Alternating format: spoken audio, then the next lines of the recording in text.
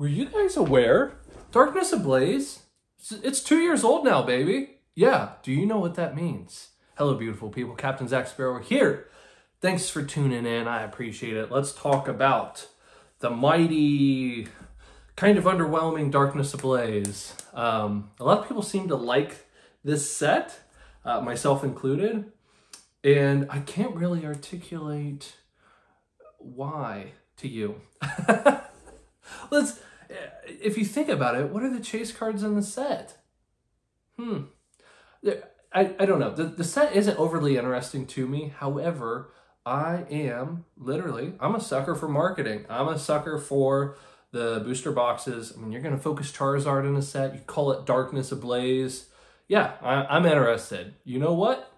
I'm, I'm a pretty simple man when it comes to that. You either put like a dragon on there or you put a girl with big personalities and stuff on cards. Like that's that's really all all you need, isn't it, fellas?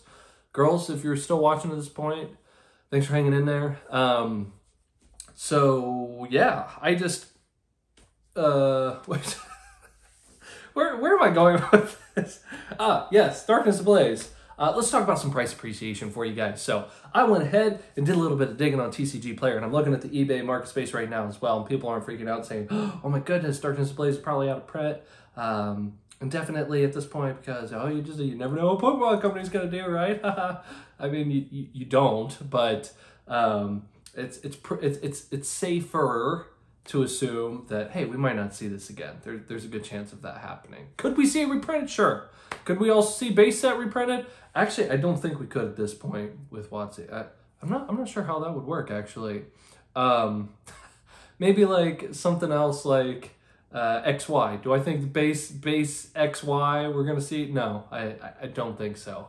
Uh, so, um, yeah. Any anywho, last year, so like more toward the end of November of last year, but basically a year ago, we saw Darkness Ablaze booster boxes at around $97 a box. So just, I remember it was just under $100 a box.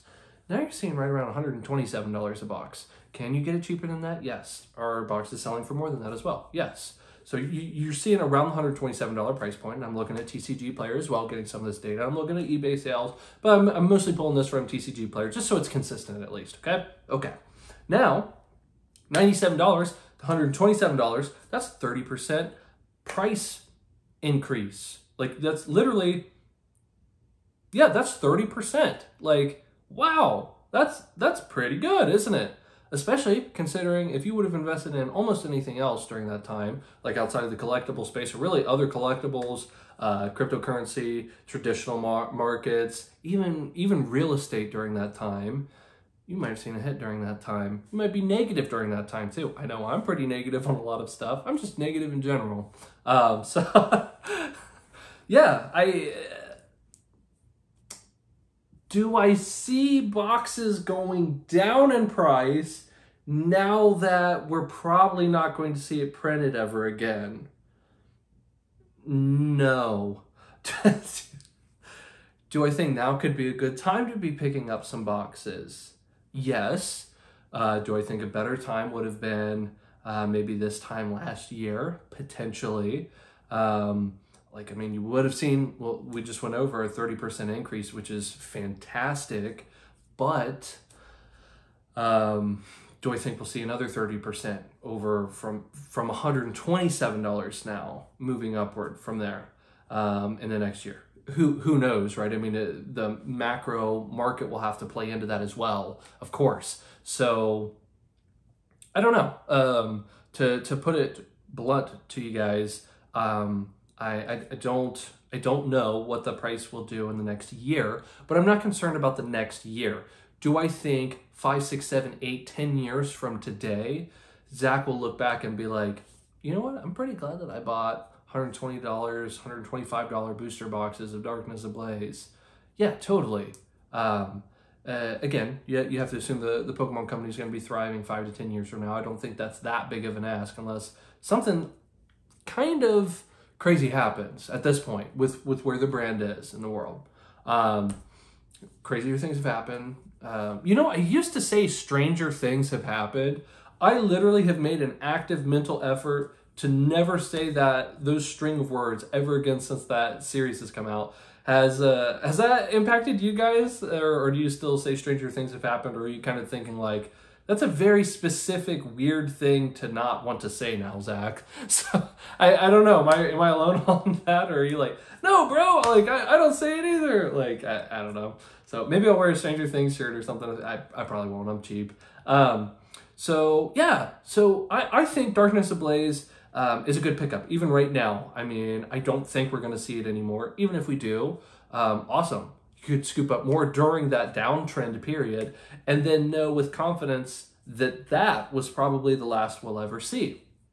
Generally, once you get to that 18 month mark, and then especially to that 24 month mark, that's it. You're done with those sets. Moving on to the next. I'm not saying that that's the guaranteed rule of thumb moving forward. I'm just saying historically, that's what we've seen over the last two decades. So take that however you want to. Uh, that's my opinion moving forward. That's my plan. That's how I cho- am choosing to approach this. Zach, do you have some Darkness Ablaze yourself, you're saying? I do, actually. Am I actively buying right now? No, not really. I'm saying if I was in the spot to where I don't have a bunch of Darkness Ablaze, or if I'm looking to invest in something else, knowing that, hey, this just rotated out, and there are always a million things that you can be buying. There's always the newest set of Magic, my goodness there's a new set every single month of something that you could be purchasing. Multiple sets per month if you're uh, across different TCGs, uh, which I know a lot of you are. There's just there's always something to buy, isn't there? So I I like Darkness Ablaze. I think Darkness Ablaze is going to appreciate just fine into the future. Is it one of those sets that is like on the no-no list for me? Is it on my naughty list? No, it, it definitely is not. I, I would totally want some Darkness Ablaze exposure, um, and I'm very thankful that I do. Um, that's it. I think that's what. I, oh, individual card prices. Don't know what's going to happen there either. Um, I do remember back in May earlier this year, um, we're talking about the top cards in the sets. I I'm pretty sure. No, it's $48. That's what we saw for top pricing um, for individual cards like Raw. I don't think we're going to see um,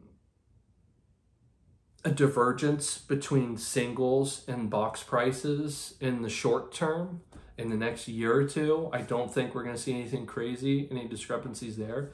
10 years from now, um, I, I, I could, we have seen, and I could totally see this panning out with Darkness Ablaze as well. Um, you see more of a detachment of consistent pricing with chase cards and the unopened booster boxes themselves, assuming that people continue opening the boxes and the boxes aren't reprinted following up and I think that's it. so this is what happens when you don't have a script. But I thought about this one. The last two videos that I did, I just recorded.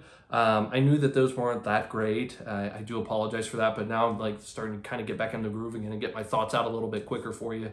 So hopefully there's some thoughts for you guys to kind of slap around in the old noggin. So I hope that makes sense for you. And yeah, that's that's got to be it for the day. So if you did enjoy this video, make sure that you subscribe and watch another one of my videos. And until next time,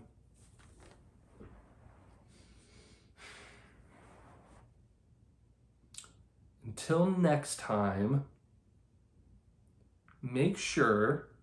Oh, have you guys gotten any McFlurries lately? I literally went to our local McDonald's, and this was like the second time I've done it last week because I just I forgot that they had them. Because half the time they're down when you go to McDonald's, and I don't actually go to McDonald's that much. If I do go out to eat, it's somewhere else, uh, maybe like Chipotle or something like that. Um, but because uh, I know you wanted to know that, but uh, I uh, I got a McFlurry. It was three dollars and ninety nine cents. I paid four dollars for a little McFlurry that I ate in like three bites. Never again. I like those things, but uh, that was the second time I had it. I didn't look at the price last time. Um, I, I, was out on the road. I was busy doing stuff, but I, uh, I mean, that's not that good of an excuse to not pay attention to the price. But fortunately, I'm, I'm in the position where I don't have to check my McFlurry prices all the time, I guess. But um, I uh, I looked at the price of that. I was like three ninety nine. so uh, yeah, I, I don't know. It, it, are your McFlurry prices ridiculous? I'm not getting them again. I'm gonna have to like I can go to the Dairy Queen, like it's a legitimate Dairy Queen, and get a really nice large Blizzard for a couple dollars more. Like that is absolutely the play. Well, hey, did you know that you can get stuff from Walmart for a whole can for like fifty cents? Well, okay, yeah, whatever, and, and like can, yeah, wh- whatever. I'm making fun of you here in this scenario, so uh, yeah, I just I thought that was ridiculous. That I was gonna say put a sour taste in my mouth, but like that McFlurry was actually really good. But it's not four dollars worth of good where I'm at. So I just thought I'd share that. Have a good one.